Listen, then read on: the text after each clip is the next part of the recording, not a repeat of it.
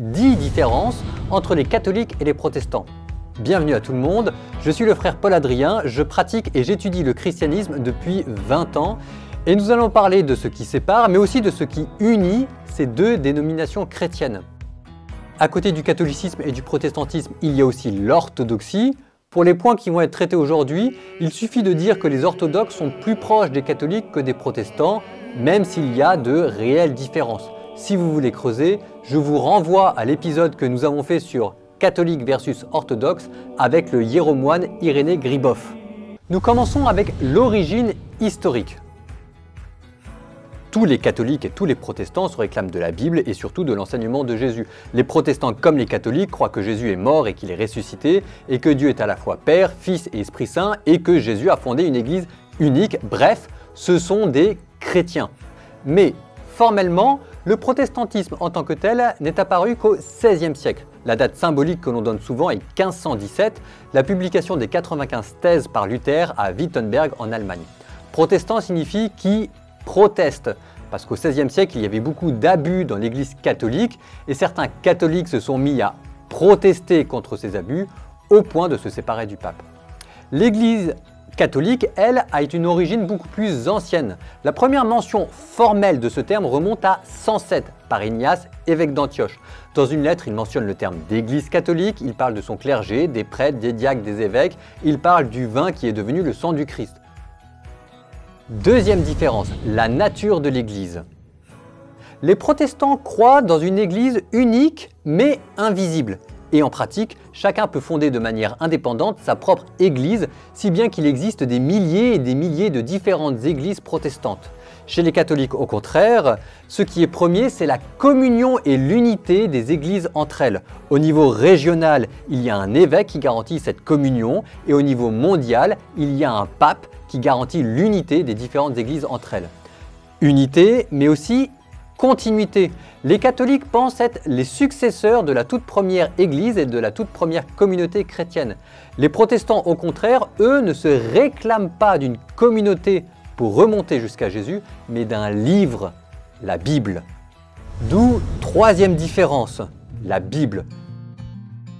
Catholiques et protestants sont tous d'accord pour dire que dans la Bible sont contenues toutes les vérités nécessaires au salut. Mais pour les protestants, la Bible se suffit à elle-même. C'est même un de leurs dogmes, le sola scriptura. Pour les catholiques, au contraire, la Bible, le Nouveau Testament, est le témoignage d'une communauté et les rites, les coutumes, les écrits de cette communauté sont aussi importants pour bien comprendre la Bible. D'où des différences importantes. Par exemple, que faire quand un passage est complexe?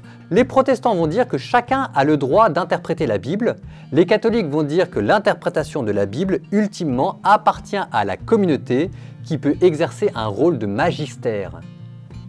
La Bible catholique contient 73 livres, la Bible protestante 66. Au XVIe siècle, les protestants ont enlevé de la Bible les écrits grecs les catholiques, eux, les ont gardés en souvenir des premières communautés chrétiennes qui utilisaient la Bible grecque. Nouvelle différence, Marie. Pour les protestants, Marie, la mère de Jésus, est une pécheresse. Pour les catholiques, au contraire, Marie a été préservée du péché originel et elle est pleine de grâce. En règle générale, les catholiques vont interpréter dans un sens fort les paroles de la Bible qui se rapportent à Marie et les protestants dans un sens faible. Pour les catholiques, Marie est montée au ciel avec son corps, l'Assomption, et elle prie pour les vivants. Pour les protestants, au contraire, cela est refusé. Pour eux, la prière de Marie porte atteinte à la seigneurie du Christ, seul médiateur. Pour les catholiques, la prière de Marie incarne la prière de l'Église et ne porte pas atteinte à la seigneurie du Christ. Autre différence, le pape.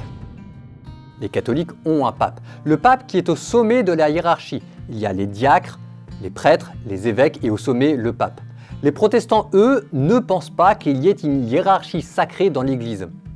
Pour les catholiques, le premier pape était l'apôtre Pierre, et ils pensent que la promesse que le Christ a faite à Pierre, j'ai prié pour que ta foi ne défaille pas, vaut non seulement pour Pierre, mais aussi pour ses successeurs. Pour les catholiques, donc, lorsque le pape parle de manière solennelle au nom de l'Église, il ne peut pas se tromper. Les protestants, eux, pensent que la promesse faite à Pierre s'arrête à Pierre. Pour eux, personne n'est infaillible. Même une église pourrait de bonne foi se tromper. Pour les catholiques, au contraire, l'église que le pape représente ne peut se tromper dans son ensemble. Sixième différence, les prêtres. Pour rappel, un prêtre, c'est quelqu'un qui offre des sacrifices. Ce sera important pour comprendre.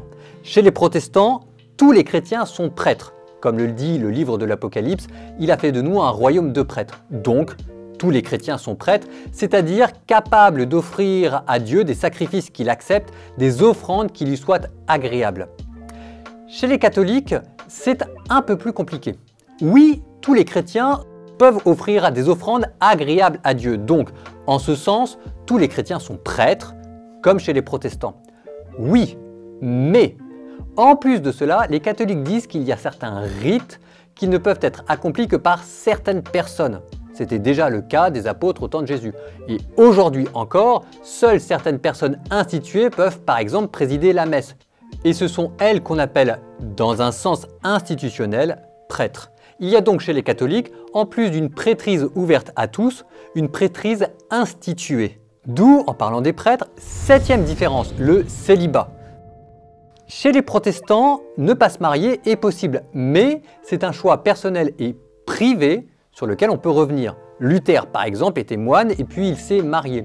Chez les catholiques, le célibat consacré est possible, mais il peut être, si on le choisit, un choix personnel public. Il devient alors définitif et la personne devient ce qu'on appelle un consacré. Il y a les religieuses, les moines, les vierges consacrées, et ça va être parmi ces personnes consacrées masculines que vont être recrutés les prêtres qui célèbrent les sacrements. Chez les protestants, les pasteurs ne sont pas tenus au célibat. Chez les catholiques romains, c'est une condition, même s'il existe des exceptions comme par exemple les prêtres catholiques maronites. Nouvelle différence, ce qui se passe après la mort. Pour les catholiques comme pour les protestants, après la mort, c'est soit le paradis, soit l'enfer. Mais imaginez le cas de quelqu'un qui meurt profondément chrétien, en état de grâce, mais dont l'âme porte encore le souvenir de certaines fautes passées après le baptême, comme par exemple dire du mal de son prochain. Péché véniel, mais quand même. Eh bien, les catholiques disent que Dieu peut lui octroyer la grâce d'aller au paradis en passant à travers le feu d'une purification, ce qu'on appelle le purgatoire et que, étant sauf ce jugement qui appartient à Dieu, les vivants peuvent prier pour hâter le temps de cette purification. Chez les protestants, au contraire, il n'y a ni purgatoire ni prière pour les défunts. Autre différence, plus subtile, sur le jugement. Sur quels critères serons-nous jugés?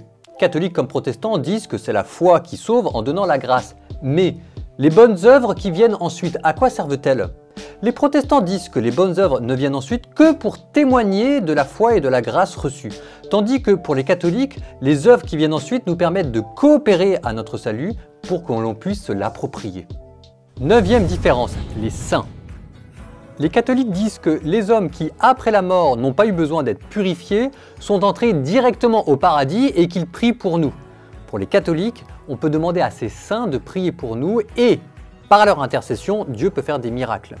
Les protestants, eux, refusent les prières envers les saints. Pour nombre d'entre eux, c'est un blasphème, car ils disent que seul Dieu doit être prié.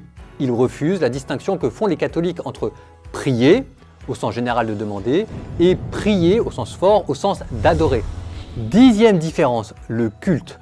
Chez les catholiques, le culte public est centré autour des sacrements. Il y en a sept pour eux, mais les protestants n'en reconnaissent que deux, le baptême et la messe, même s'ils utilisent plutôt le mot scène plutôt que celui de messe ou d'Eucharistie. Et encore là, il y a des différences. Chez les catholiques, au cours de la messe, les paroles que le prêtre dit au nom de Jésus, Ceci est mon corps, ceci est mon sang, font que le pain et le vin deviennent le corps et le sang de Jésus. Au cours de la scène, les protestants, eux, font mémoire de la mort de Jésus, mais le pain reste un symbole du corps du Christ. À côté des sacrements, il y a chez les catholiques aussi des fêtes. Noël, la Toussaint, il y a des temps spéciaux, le carême, l'Avent, il y a des couleurs liturgiques, les églises peuvent contenir des statues pour aider les fidèles à prier, certains lieux vont être vénérés particulièrement, par exemple le tombeau des apôtres, à Saint-Jacques de Compostelle par exemple, ou bien des reliques des saints. Rien de tout cela n'existe chez les protestants. Et voilà les 10 différences qui me paraissent les plus importantes entre catholiques et protestants. Vous me mettrez dans les commentaires celles que j'ai oubliées, celles qui vous paraissent les plus importantes. D'ici là, nous prions tous les uns pour les autres parce que nous sommes tous chrétiens. L'amour vaincra.